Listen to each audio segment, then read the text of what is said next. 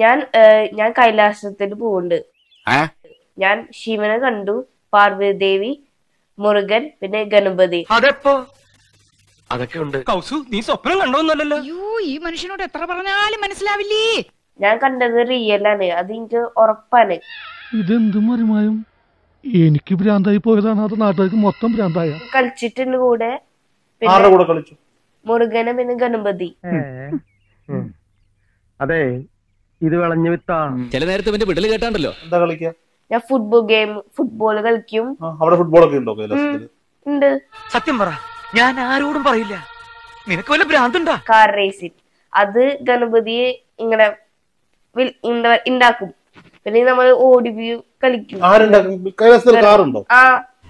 ഇവനെ பார்த்தா எங்க அப்பா இருக்கு അവിടെ നമ്മൾ ഇമാജിൻ നമ്മൾ എന്താ വേണമെങ്കിൽ അത് ഞാൻ എക്സാമ്പിൾ ഒരു കാർ വേണം. ആ കാർ എത്തി.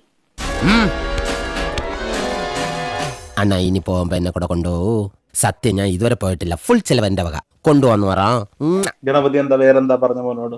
വേറെ നമ്മൾ സംസാരിക്കും കളിക്കും. അല്ല പാർവതി ദേവി അല്ല ഫുഡ് ഉണ്ടാക്കാൻ ഇത് വെന്തില്ല പിള്ളാരെ. ഇത് വേവുള്ള അരിയാണ്. എന്തൊക്കെ ഫുഡാ വന്നേ? പിന്നെ ദോശ ചട്നി സാമ്പാറ് പനീർ ബിരിയാണി.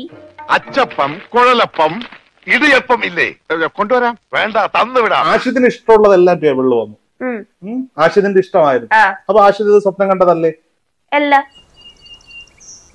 എന്തോന്നാടോ ഇത് എങ്ങനെയാണ് ഈ പറയപ്പെടുന്ന ഈ കൈലാസം കാണാൻ എങ്ങനെയാണ്? നീ എന്തിനാടാ ചെക്കനെ വെറുതെ ഇട്ട് മൂപ്പിക്കണത്? കാണാൻ ഒരു സ്നോയി സ്ഥലം. അതാണ് പിന്നെ നല്ല തണുപ്പ് പക്ഷെ ഇത് തണുപ്പ് തോന്നിയിട്ടില്ല. ഇതാണോടാ നീ കണ്ടുപിടിച്ച ആനക്കാര്യം? ഓഹോ അതും ലീക്ക് ഔട്ട് ആയോ? ശിവൻ പാർവദേവി മുരുകൻ ഗണപതി. ഞാൻ അവിടെ കണ്ടത്. ഞാൻ സംസാരിക്കും കളിക്കും പിന്നെ ഫുഡ് കഴിക്കും. അവൻ കൊച്ചല്ലേ?